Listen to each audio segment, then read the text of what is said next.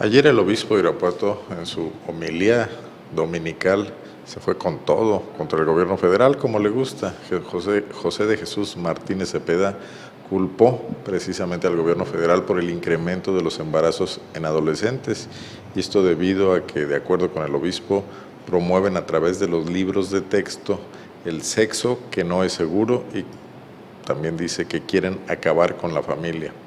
La reacción vino después de que Laurelena Rejón, funcionaria priista a nivel nacional, señalara hace unos días en su visita al estado que Guanajuato se encuentra entre los primeros cinco lugares a nivel nacional por el número de embarazos en adolescentes. Esta fue la reacción del obispo Martínez Cepeda en Irapuato.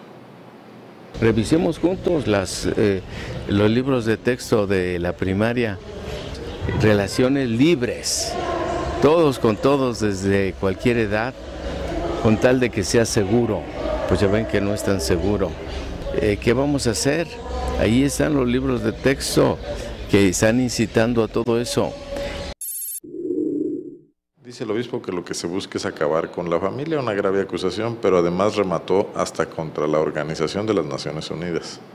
Tenemos que pedirle cuentas a, las, a las autoridades educativas y a nuestros gobiernos que han autorizado esos principios y siguen acabando o queriendo acabar con nuestras instituciones fuertes, que es la familia. La ideología del género precisamente eh, acaba con la familia. Yo espero que nuestros jóvenes y todos estén convencidos de que vamos a, a respetar y observar primero la ley de Dios antes que la de los hombres.